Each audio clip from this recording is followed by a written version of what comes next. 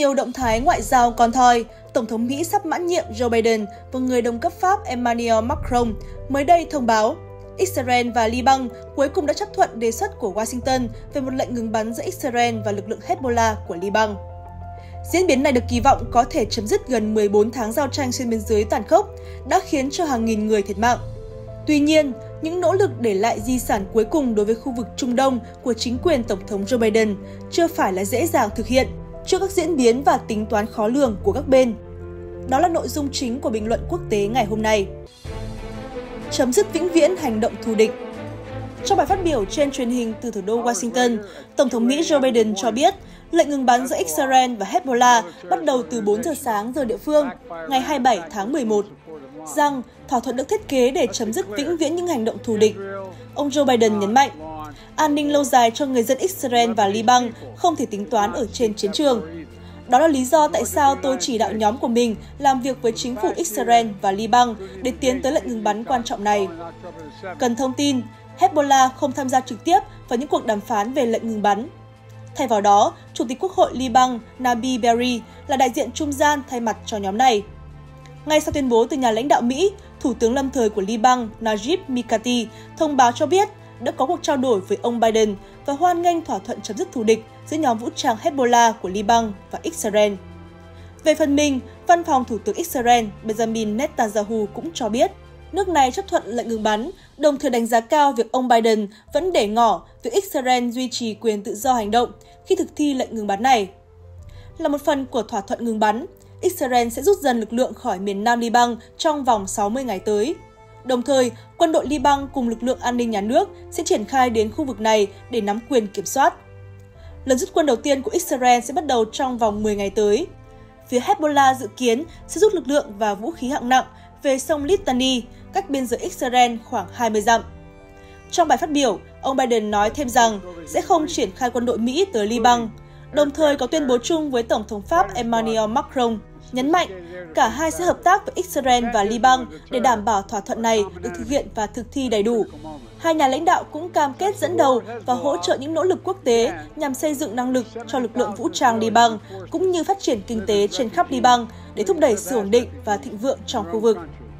Tổng thống Biden cũng nhấn mạnh, dân thường của cả hai bên sẽ sớm có thể được trở về cộng đồng một cách an toàn và bắt đầu xây dựng lại nhà cửa, trường học, trang trại, doanh nghiệp và từng bước ổn định cuộc sống. Dù vậy, ông Biden lưu ý cơ sở hạ tầng của nhóm vũ trang Hezbollah và các tổ chức khủng bố khác ở miền nam Liban sẽ không được phép xây dựng lại và đe dọa an ninh của Israel một lần nữa. Một điểm nữa, theo ông Biden, thỏa thuận này không liên quan đến những hoạt động đang diễn ra của Israel tại Gaza, tức không áp dụng cho cuộc giao tranh đang diễn ra giữa Israel và lực lượng Hamas.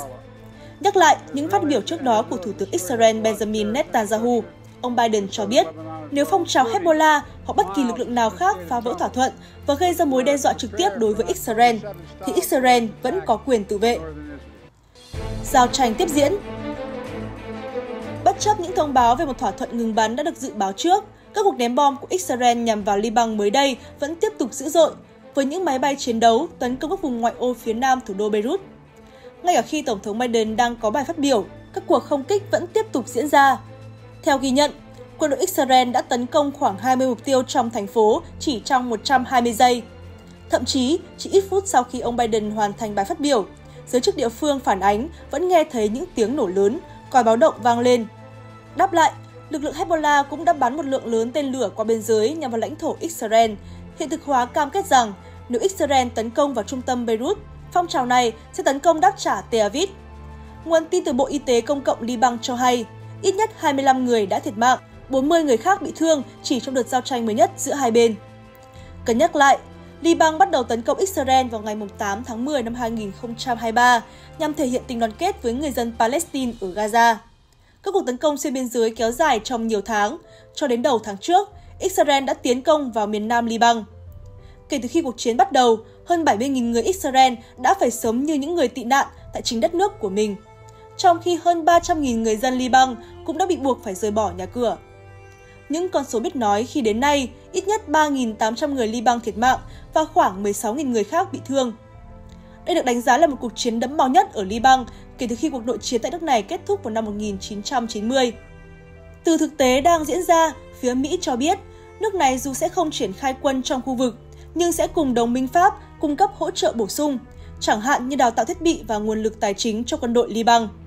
Nỗ lực này sẽ được thực hiện thông qua Ủy ban Kỹ thuật Quân sự, một liên minh quốc tế trước đây do Mỹ thành lập và đã trở lại hoạt động chỉ cách đây vài tháng. Một số quan chức trong chính quyền Tổng thống Joe Biden cũng cho biết, Mỹ và Pháp cũng sẽ tham gia một cơ chế hiện có được gọi là cơ chế tam phương, được thành lập ngay sau chiến tranh Liban năm 2006. Mỹ sẽ chủ trì cơ chế này và thông qua những nhà ngoại giao và quân nhân, tiếp tục và cố gắng ngăn chặn, xử lý những khiếu nại của cả hai bên về các nguy cơ vi phạm tiềm ẩn. Di sản có bền ngay khi thỏa thuận ngừng bắn Israel-Hezbollah được công bố, nhiều quốc gia trong khu vực đã lên tiếng hoan nghênh, coi đây là bước tiến quan trọng, tạo đà cho những nỗ lực nhằm khôi phục hòa bình và ổn định cho Trung Đông. Chính bản thân Tổng thống Mỹ Joe Biden được cho là cũng đang kỳ vọng từ thỏa thuận Israel, Hezbollah để hướng tới mục tiêu lớn hơn cho cả khu vực. Nhưng hơn ai hết, ông Biden hiểu rõ, không giống như lệnh ngừng bắn Israel, Hezbollah, một lệnh ngừng bắn tương tự ở giải Gaza chắc chắn khó đạt được hơn rất nhiều. Và những ngày cuối nhiệm kỳ dường như là quá ít ỏi để ông Biden đạt được điều gì đó đúng như kỳ vọng.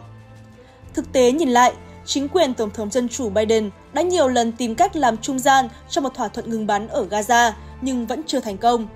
Và đáng tiếc, thỏa thuận mới nhất, dù có được thực thi đúng như cam kết của các bên, cũng chưa thể chạm tới mục tiêu lớn của Washington.